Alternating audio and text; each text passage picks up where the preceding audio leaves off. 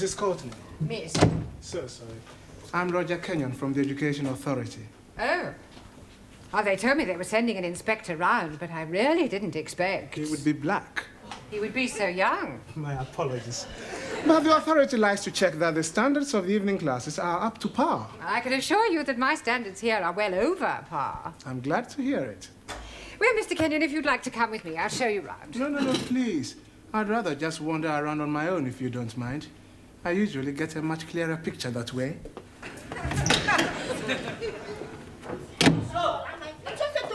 Wait talk. Wait talk. Everything all right?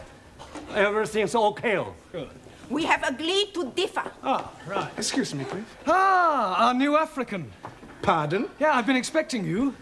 Me? Yes, I was told I'd have a new pupil. Look, it's nearly time for our tea break, so why don't you just go to the back for a minute and I'll take your particulars later. But please, Now, you... be a good chap and don't argue. Just go and sit there, all right? Yes, but...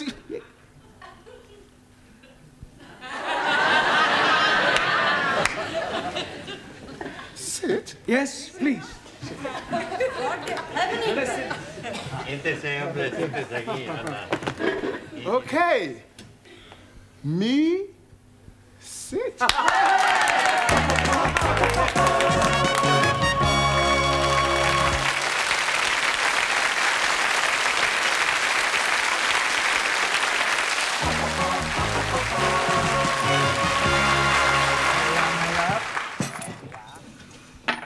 Are you Mr. Brown? Yes. Oh, I've got a message for you. From her ladyship. Oh, lady who?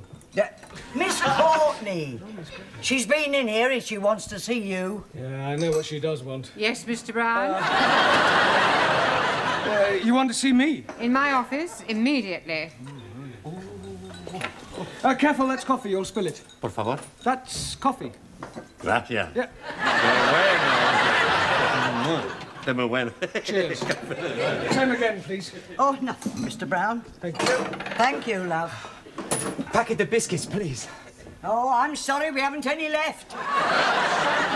Ah, good, good. You've uh, come to have a cup of coffee? Coffee? Yes, coffee, this stuff. Thank you.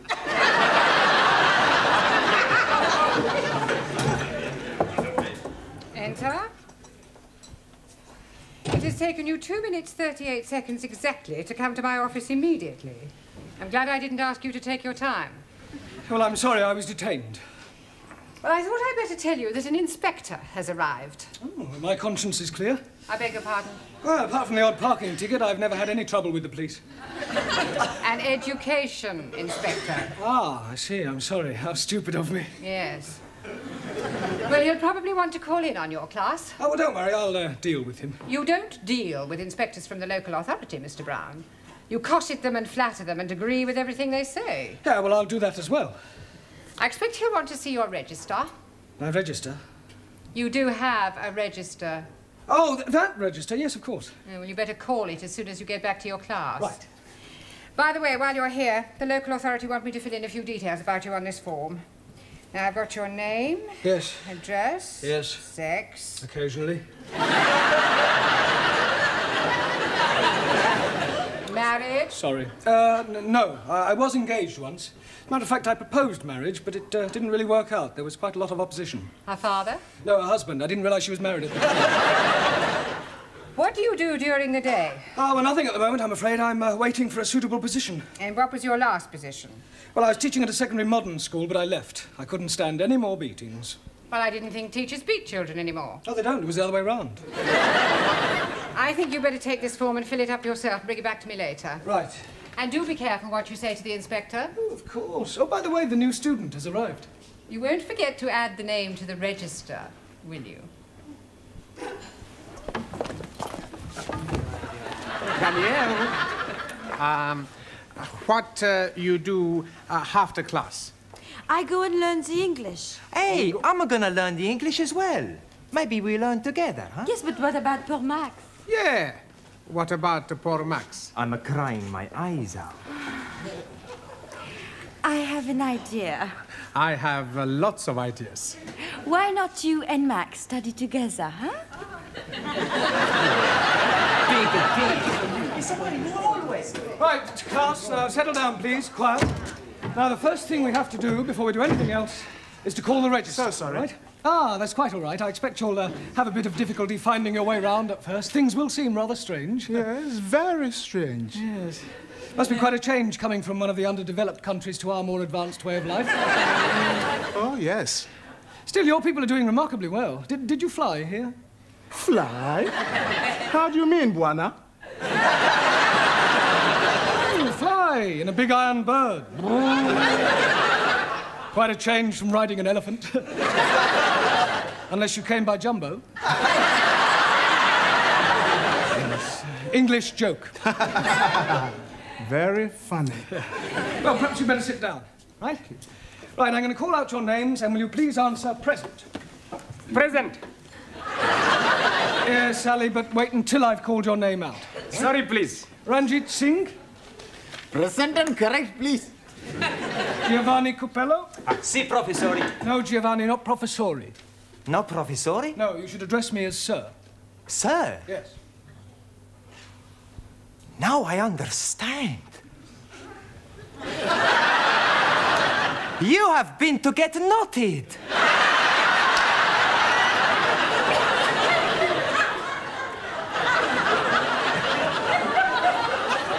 Come again?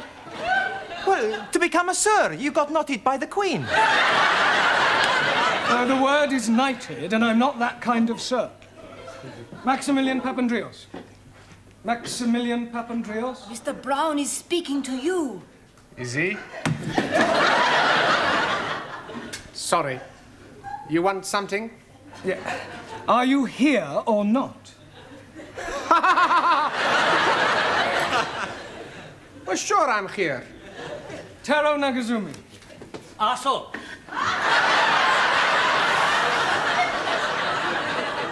Present. Anna Schmidt. Yeah, present. Suli Chung. Present. Ali Nadim. Gift. Gift. I'm surprising you, no? Each day, I'm learning a new English word. And I'm finding that gift is another word for peasant.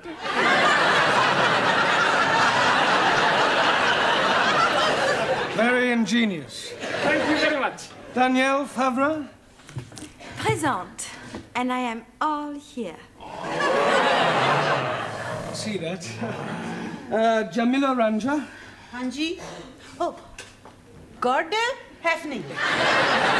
Yes, you're here. And Juan Cervantes. Por favor. Present. Por favor. You're here. Present. I better take down your particulars, otherwise I may get into hot water. Oh, you are going to have a hot bath? No, Ali, it's just another way of saying I may get into trouble. Oh dear, you have been committing some grievous misdemeanor. Not at all. There's an inspector from the local education authority coming round. Yeah, the bigger boss. Yes, I suppose you could say that, but from my experience, they're usually interfering old fogies. You don't like them? Not particularly. Frankly, they're quite useless and about as outdated as their teaching methods. I mean, what's the point of learning past participles, cognate objects, or subordinate clauses? It's far more useful to try to teach a foreign student how to uh, order a meal or find accommodation. You appear to have some rather unique ideas. Well, I suppose I have. You know, you speak English fairly well. Thank you. and what is your name? Roger Kenyon. Roger Kenyon. Ah. Miss Courtney, I'm just uh, completing the register and getting the details of our new student before that inspector chappie pokes his nose in. Yeah. Mr. Brown. I shan't be a moment, Miss Courtney. What is your job? Inspector. Oh, what, local transport? Local Education Authority. Ooh. Yeah, I, I thought he was the new student. The new student is a female. Is she? Well, you didn't tell me that. Oh, my apologies, Mr. Kenyon, and I do assure you that Mr. Brown will be severely dealt with. I can't remember when I last enjoyed myself so much. I beg your pardon. Enjoyed yourself? You know, Miss Courtney, your Mr. Brown is a remarkable man. I am? He is? Yes. His teaching methods may be somewhat revolutionary, but they appear to work. I have always encouraged my staff to be forward thinking. I'll pass on your comments to the authority. Perhaps they revise their textbooks. Now, if you'll excuse me, I must put in an appearance at the other classes. Oh, uh, keep up the good work, Mr. Brown.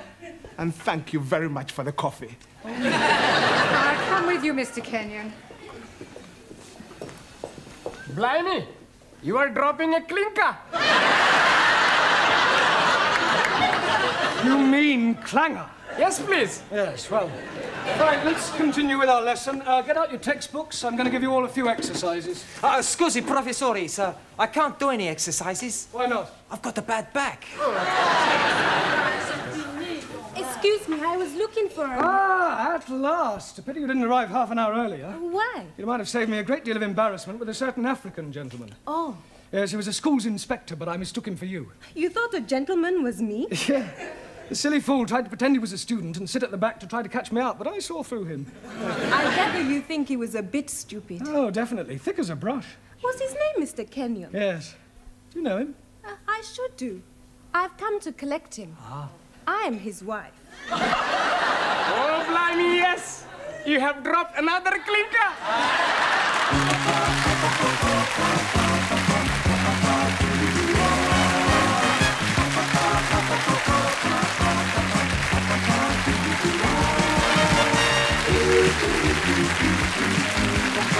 Yeah.